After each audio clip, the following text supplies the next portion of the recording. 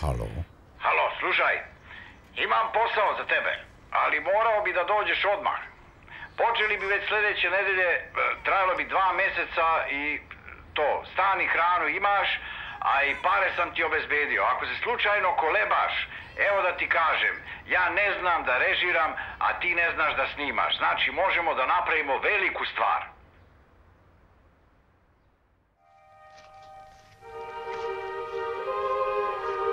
Kirke i Milja. To su oni. Dole romantika! Jedino ti od muškaraca koje poznajem, onanišeš. Nemaš pojma, to rade svi. Čuti, zato vam se svima i suši kičma.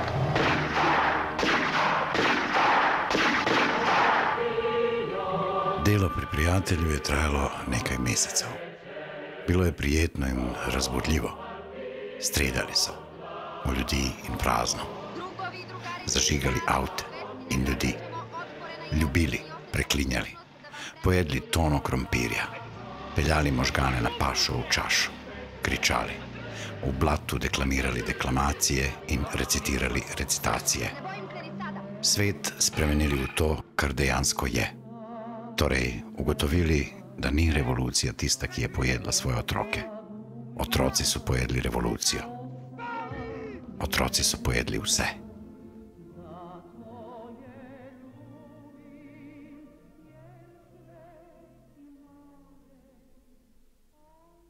In potem, ko je delo bilo opravljeno, se mu ni mudilo domov.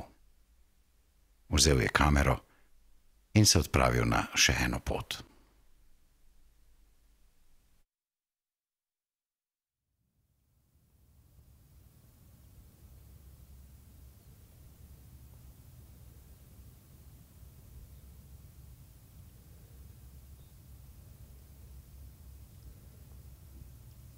Pred njim se je odprla ravnica. Ravno kot pekač, ravno spodaj, ravno zgoraj, kot morje zraka. Zemlja je dno, gladina je nebo. Ceste, lene za ovinke, so ga peljale od vasi do vasi.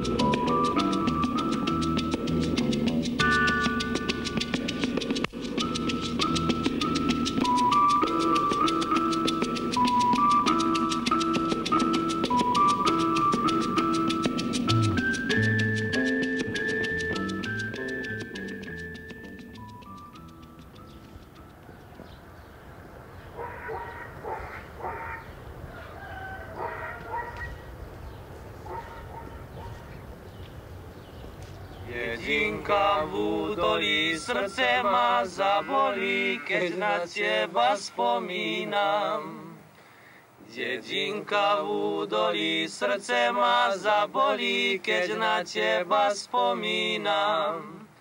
Spomínam na teba stále, na tie prekrásne chvíle, keď sme sa ľúbili, lásku si slúbili, dievčatko roztomilé. Spomínam na teba stále, na tie prekrásne chvíle, keď sme sa ľúbili, lásku si slúbili, dievčatko roztomilé.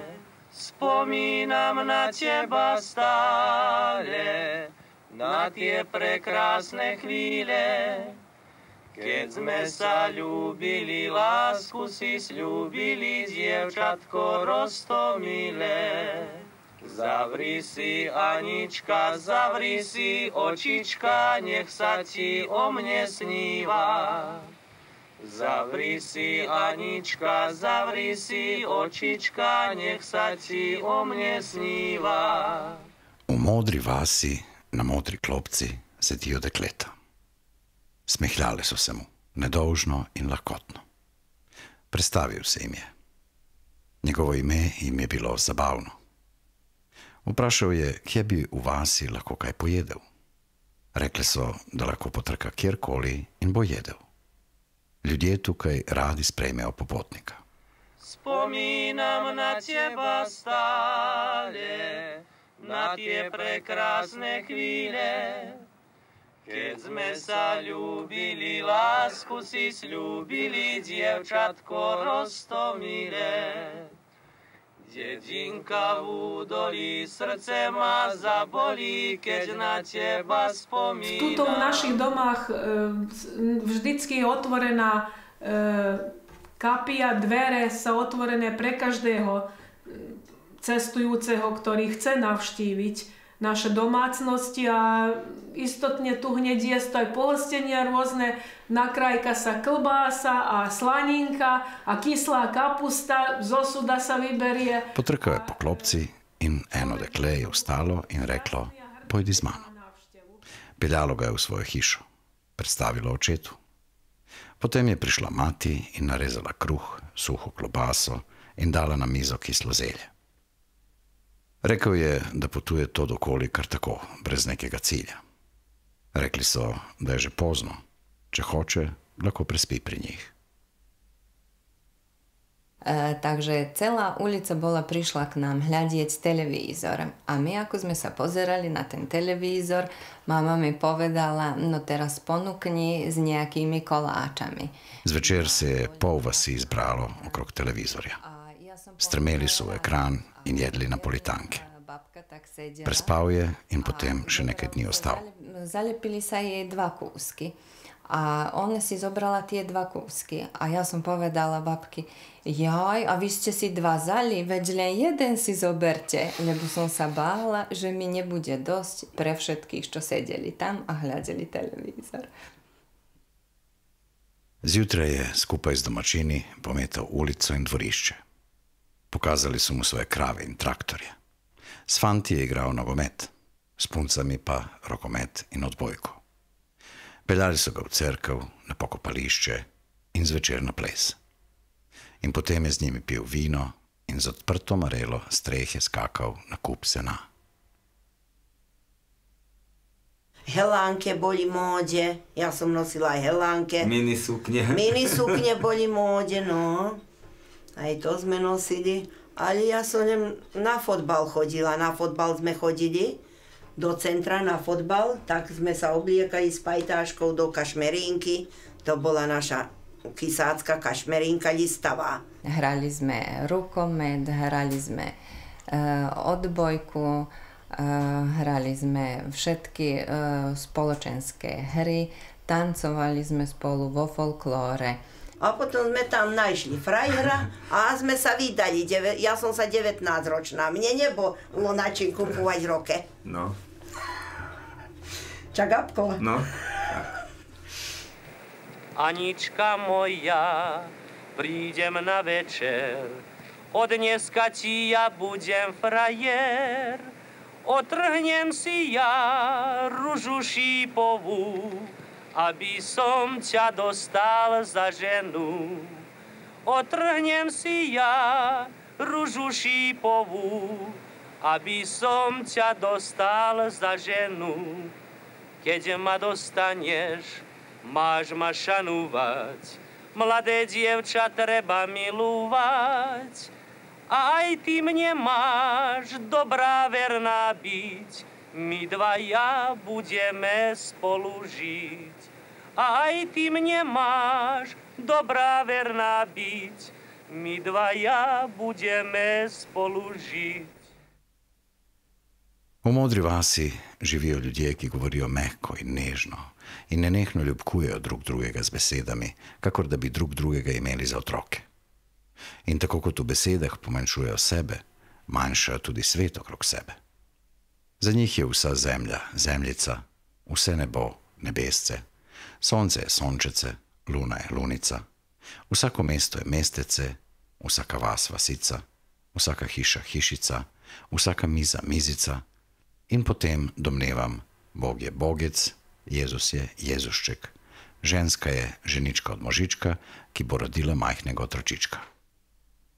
Življenje je življence, trpljenje je trpljence. Jedinka v udoli srce ma zaboli, keď na teba spominam. In njihovo petje je zmerno, sramežljivo, in nikoli preveč glasno, in nikoli preveč strastno. In vse to, da ne bi užalili ali zbudili velikanske zveri, ki spi pod njihovimi nogicami izpod zemljice, zveri, za katero še niso našli ljubkovalne besedice. Ljubili djevčatko Rostomire.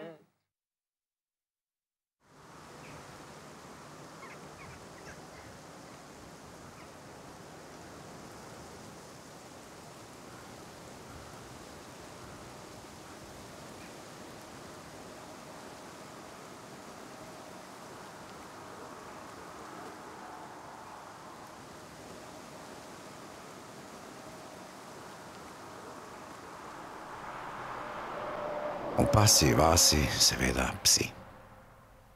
Psi vseh sort, a nobene pasme. Psi kot zdolgočaseni otroci. Psi, ki imajo nekaj človeškega v očeh. Psi, miniaturni policaji. Psi, to bi vedel. Mogoče niso samo psi. Mene cura moli da joj kupim doli sapun lepi što da joj kupim doli sapun lepi što joj lice krepi. Ej, sve devojke grle ljube mene, a ja volim samo tuđe žene. Ali ako nije lako, ja ću ipak ići tako. Haj, haj, hajdu švaleraj. Ali ako nije lako, ja ću ipak ići tako. Haj, haj, hajdu švaleraj.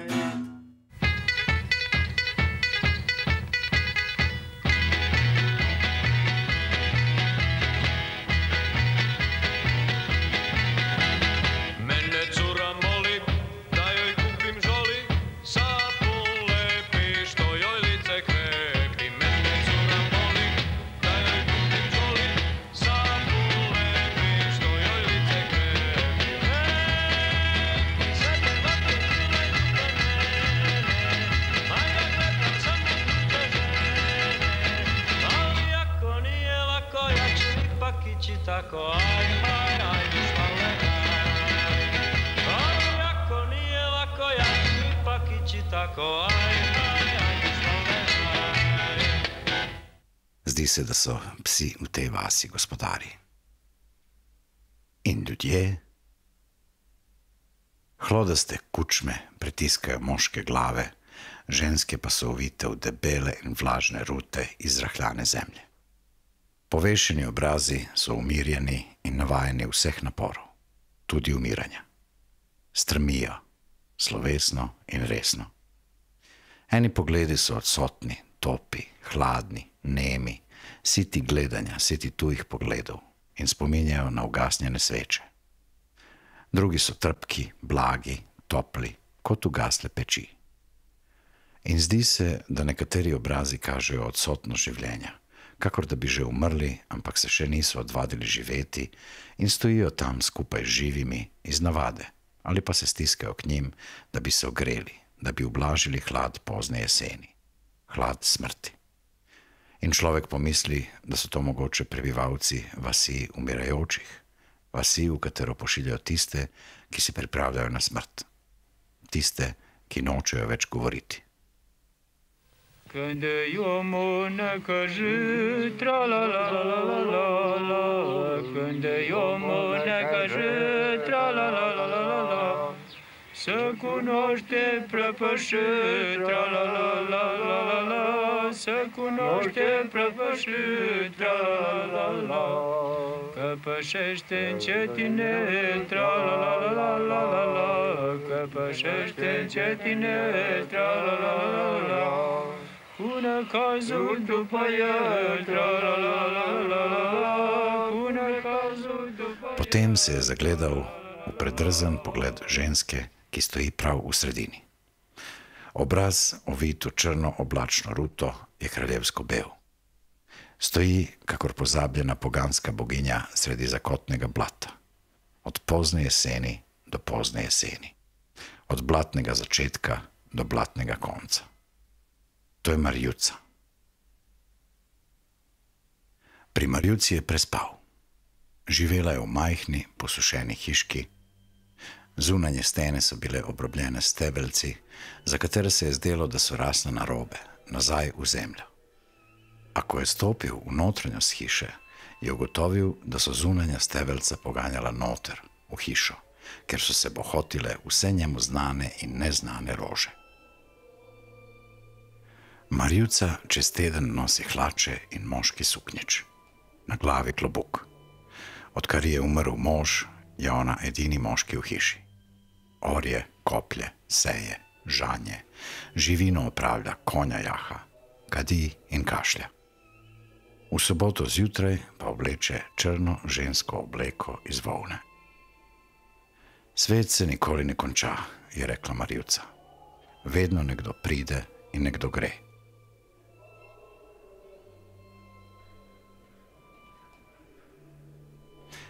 Marjuca mu je skuhala juho iz golobov. Juha duha svetega, je rekla. In duh svet je prišel vanj. In potem še šnops. Nič nista rekla, le lahko noč, nekje okrog polnoči. Spala je budna. Veliko let pozneje je umrla živa.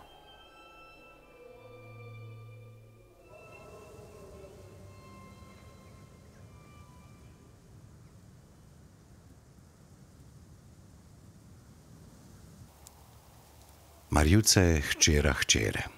Bila je edini otrok svoje matere Minerve. Marjuca je imela enega otroka, hčer Evo in Vujko.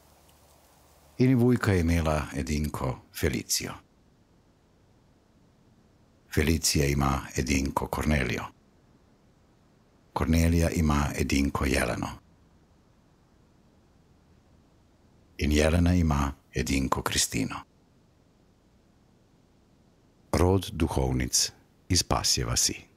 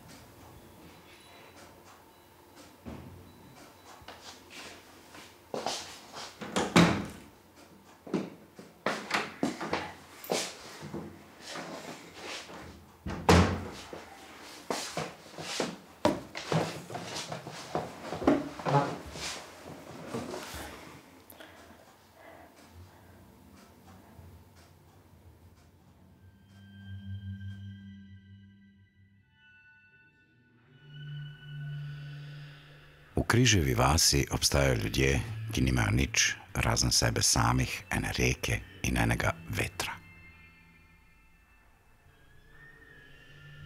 Kar je mimo njih teklo, jih je sabo nosilo, kar je pihalo, jih je odpihalo. Kot suho listje jih je razvejalo od dalekih hribov na severu do južne ravnice. Svoje bogatstvo štejejo po izgubljenih stoletjih, izgubljenih deželah, izgubljenih hišah, izgubljenih dušah. Njihova domovina je zarisana v obrazih prednikov in kičastih slikah, ki jih obešajo po svojih hišah in gostilnah. Tam nikoli niso bili, tja se nikoli ne bodo vrnili. Ponosni so na vse, česar nimajo.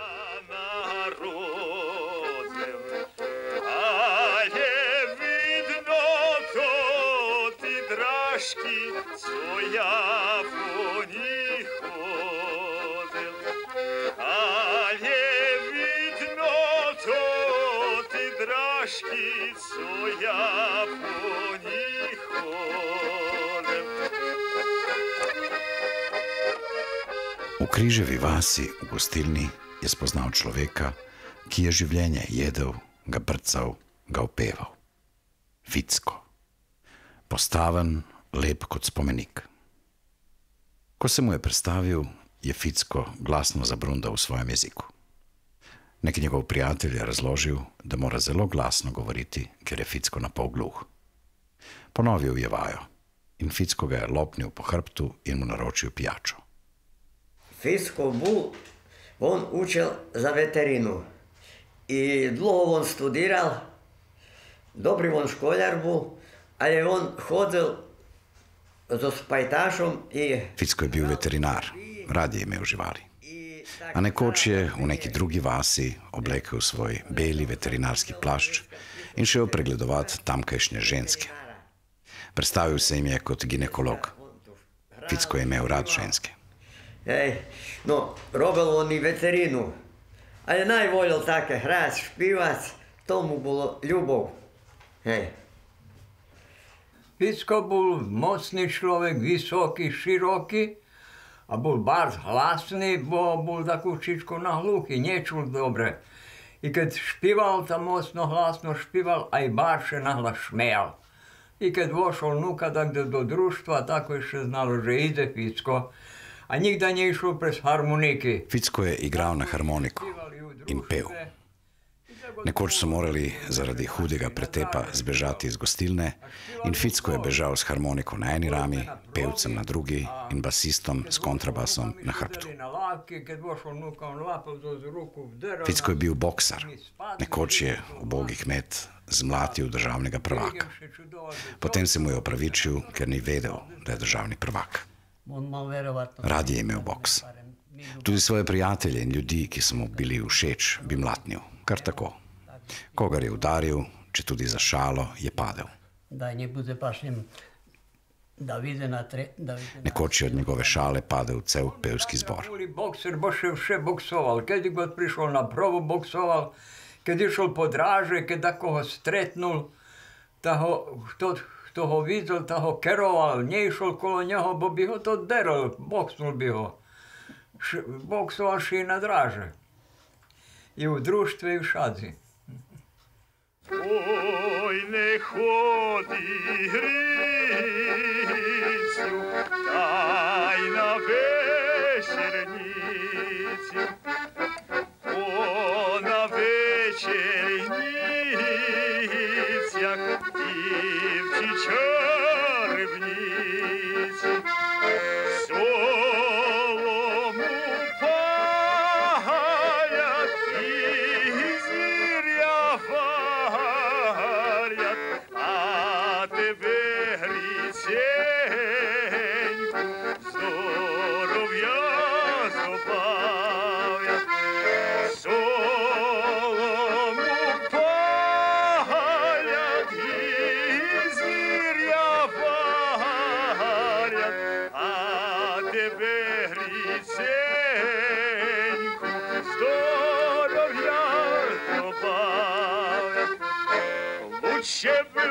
Лучше было, лучше было не ходити, лучше было, лучше Luče bilo ne ljubiti, luče bilo, luče bilo taj ne znati, jak teper, jak teper zabuva. Luče bilo, luče bilo ne hoditi, luče bilo, luče bilo ne grubiti, luče bilo, luče bilo taj ne znati, jak teper, jak teper zabuva. Veliko let pozneje ga je zemlja vzljubila. Od sladkega življenja je dobil sladkorno bolezen. Gluh in slep je bil, ko so mu odrezali obe nogi. Ficko zdaj počiva v leseni hiši iz štirih desk. Življenje ga je pojedlo.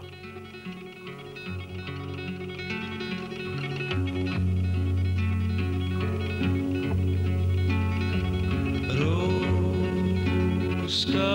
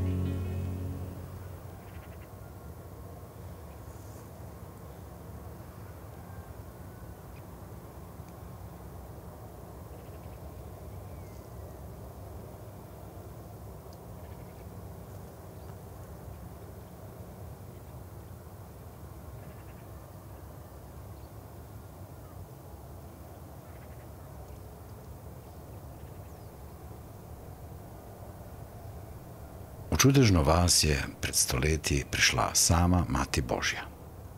Nihče ne ve, kako je zatavalo v te kraje. Bila je žejna. Napila se je vode na vaškem vodnjaku. In ker Mati Božja ne razlikuje resničnosti od sanj, je malo zatem zatavala v sanje nekega slepega kmeta. Slepec, ki je videl samo v sanjah, jo je sprejel, nahranil, ji pripravil posteljo, da se je spočila. Mati Božja je pri njem v sanjah prespala, zjutraj pa ga je prosila, da ji prinese vodo iz vodnjaka, da se umije. Kmet je odšel po vodo, a ko se je vrnil, nje ni bilo več. Zato se je umil sam in se zbudil in spregledal. Od takrat se je veliko čudežev zgodilo. Veliko pohabljencev je zgodilo, veliko norcev se je streznilo, veliko nevernih se je spreobrnilo. Nekoč davno je tisoče sveč zahvale zažgalo tisoče odvrženih bergel in lesena kapela, ki je stala ob vodnjaku, je zgorela. Zato so zgradili novo iz opek. Od zgodnje pomladi do začetka jeseni trume trpečih prihajajo na vodnjak z upanjem, da se bodo tam znebili svojega trpljenja.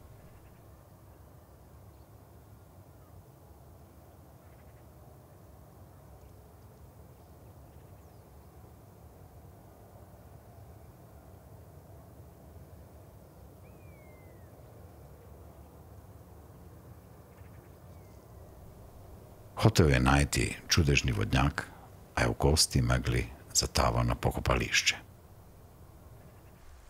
Slišal je otroške glasove. Skozi belo tančico je videl majhne postave, ki so se razletele med grobove. Tam, na pokopališču, so se otroci igrali skrivalnice. Egy nyugodt, türelmes emberre emlékszem. Nagyon sokat jelentett a sok nyüzsgő, hangos ember között. Elindultam az öreg temetőtől, népviseletben, a péntükben, ami nem volt szokványos. Amikor a mostongárhoz értem, a mostoga kiszáradt medréhez, ahol a nagy fák árnyékában... Tisti otrok, ki je lovil, je zapel pesmico o tem, kako je umrl in se spremenil v krasno rožo. A játszópajtásaim. Ko so otroci končali igro, jih je prosil, da mu zapojejo to pesmico, da bi jo posnel. Nihče ni hotel, razen desetletne Lenke. Temető kapuja, sarkék ki van nyitva, arra járnak a doroszlai lányok, rólam szedik a virágot. Arra járnak a doroszlai lányok, rólam szedik a virágot. Szedjétek le, lányok, rólam a virágot, csak azt az egy sárga liliomot, lányok, le ne. Csak azt az egy sárga liliomot, lányok, le ne szakajtsátok. Ha leszakajtsátok, el ne hervasszátok, ültessétek a sírom tetejére, mélyen le a sárga földbe. Ültessétek a sírom tetejére, mélyen le a sárga földbe.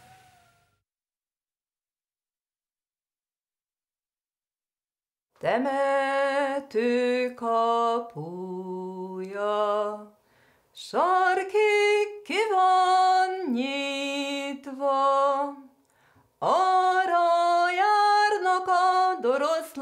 lányok, rólam szedik a virágot.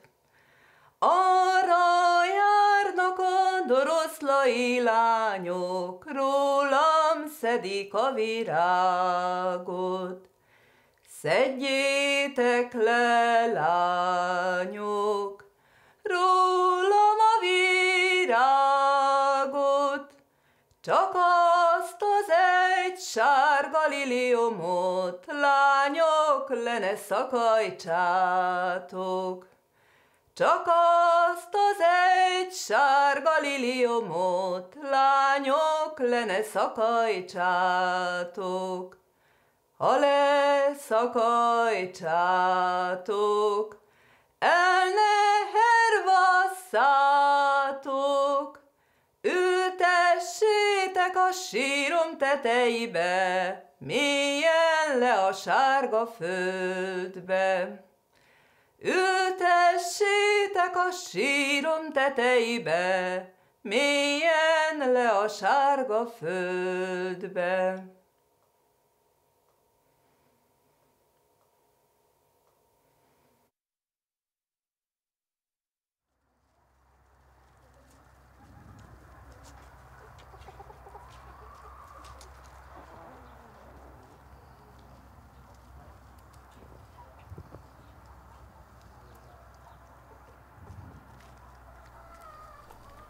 Velika mala vas je majhna. Ima eno ulico, ki rečejo dolga. Dolga ulica pa je blatna cesta, obrobljena z belimi hišami.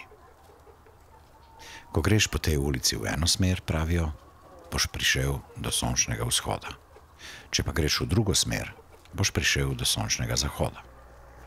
Na levi strani dolge ulice živijo delavci, na desni strani dolge ulice živijo muzikanti. Na levi strani so hiše, v katerih živijo ljudje, ki se zjutraj zbudijo. Na desni strani so hiše, v katerih živijo ljudje, ki zjutraj zaspijo.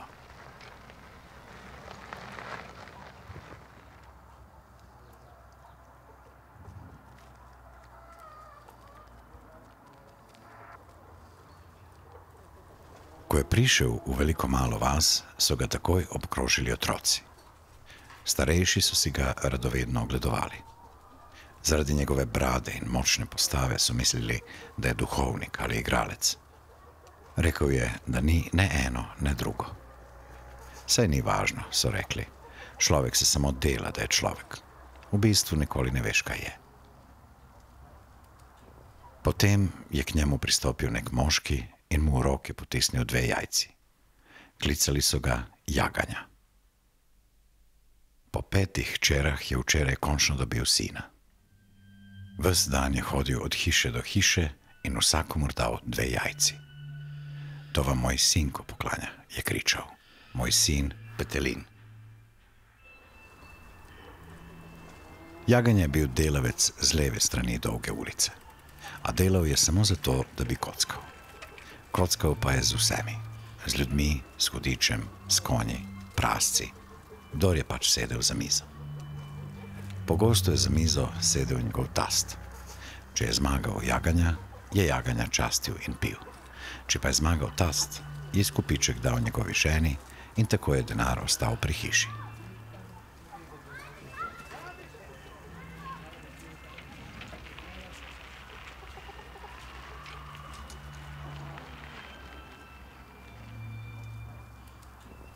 Nasproti jaganjeve hiše je na desni strani dolge ulice živel mladenič, ki so ga klicali Vinetu.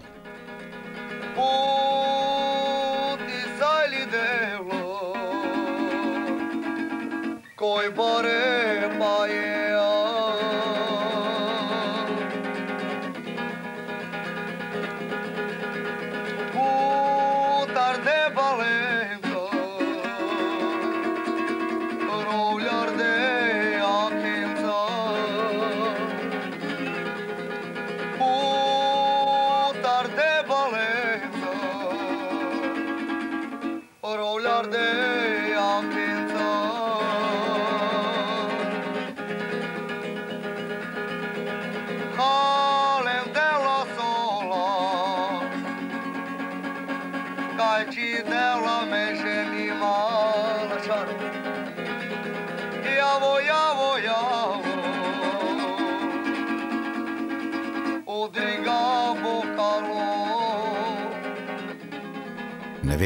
žival je van prišla, mu je rekel jaganja. Rad se tepe, nekoga zmlati, potem pa pobegne, se ves teden skriva nekje v reki in prepeva žalostinke. Boga moli. Ko ga Bog zdolgočasi, pride nazaj, pusti, da ga namlati tisti, ki ga je on prej pretepal, samo da bi se lahko spet družil z njim. Nihče ne ve, odkot mu pamet prihaja. Verjetno po tej ulici pride in gre, kot košava.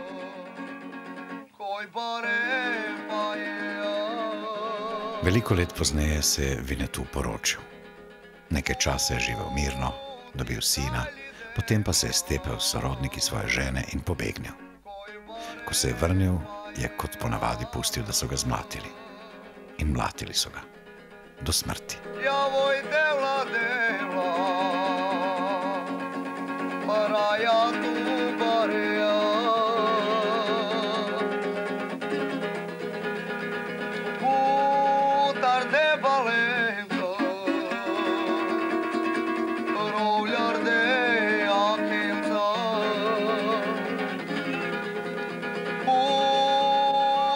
veliki mali vasi ljudje občudujejo Boga tako, da ga preklinjajo. Občudujejo ga, ker je Bog, ker je vsemogočen, vseprisoten, neviden, nedoumljiv. Preklinjajo ga iz istih razlogov, pa tudi zato, ker je oblastnik in ker ga morajo nenehno za nekaj prositi. A veš, kako je ta Bog ustvaril človeka? ga je vprašal jaganja. Tako da je hodil po blatu in iz tistega, kar mu je mezelo med nožnimi prsti, je nastal človek. Bog nas ni gnetel z rokami, temveč stopali. Iz blata je nastal človek in zato ima blatno naravo. Kdorkoli ga gazi, se on vedno prilagodi stopalu, ki hodi po njem. Takšni smo ljudje. Javo, javo, javo Al si mangi paro Puti